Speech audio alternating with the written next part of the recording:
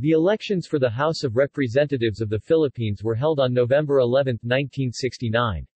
Held on the same day as the presidential election, the party of the incumbent president, Ferdinand Marcos's Nacionalista Party, won majority of the seats in the House of Representatives. The elected representatives served in the 7th Congress from 1969 to 1973, although it was cut short due to the proclamation of martial law on September 23, 1972 by President Marcos.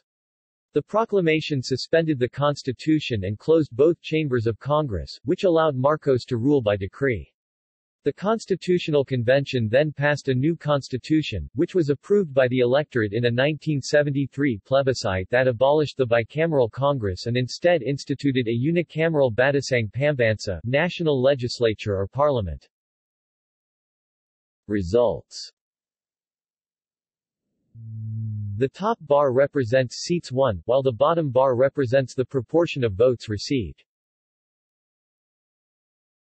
See also 7th Congress of the Philippines References The Presidents of the Senate of the Republic of the Philippines. ISBN 971-8832-24-6. Pobre, Cesar P. Philippine Legislature 100 years. ISBN 971-92245-0-9. Teehankee, Julio. Electoral Politics in the Philippines. PDF. Quezon.ph. Retrieved 6 December 2010.